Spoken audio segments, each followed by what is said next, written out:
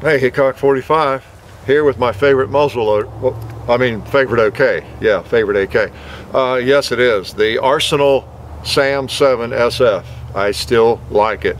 Okay, always like to update you in a chapter 2 video. If there's anything I've discovered that is horrible about a firearm, or that is even better than I suspected earlier on. But uh, all I can say is every time I get it out, I like it more. Trigger's beautiful, and uh, the sights are on. I might miss everything over there today, but I can't blame it on the trigger or the sights, I don't think. Maybe I'll have to be creative in my excuses. So let's rack one in.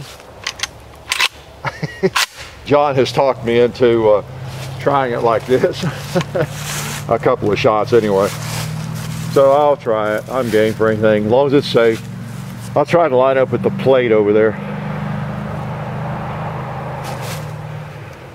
Okay.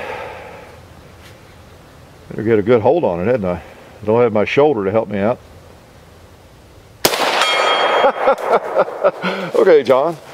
How's that? uh, I quit. Now watch me not be able to hit it. Uh, shooting regular. Okay.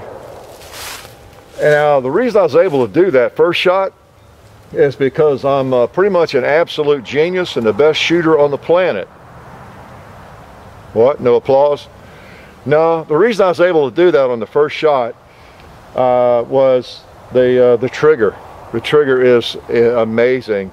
Uh, very nice release, very light, and uh, that always helps an amazing amount because once you get on target, you know it's just a little touch and you can fire the round so it doesn't pull you off target, okay? Of course, I could try that again and miss five times in a row. All right, let's try those little boogers over there. Getting dark here, losing light. I'll go left to right maybe. See if I remember where to hold the sights.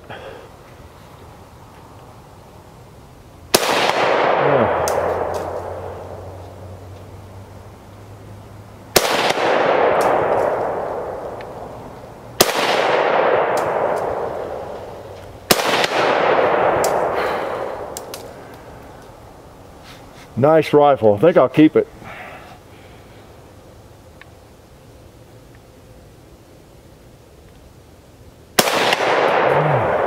Oh boy.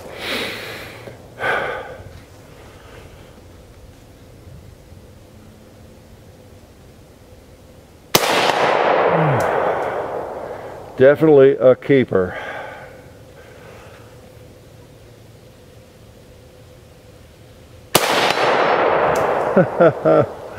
All right, let's try the red plates, swinger.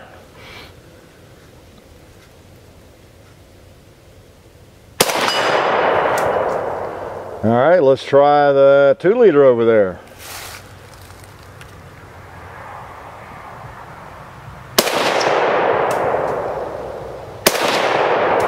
Kilting.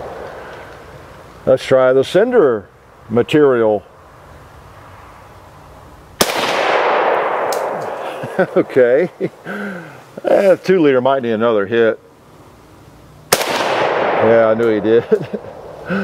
well, let's see. How many shots did I use?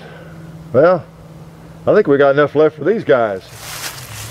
Now, those guys there made a mistake. You're never supposed to cluster up in battle. I've never been in battle before, and even I know that.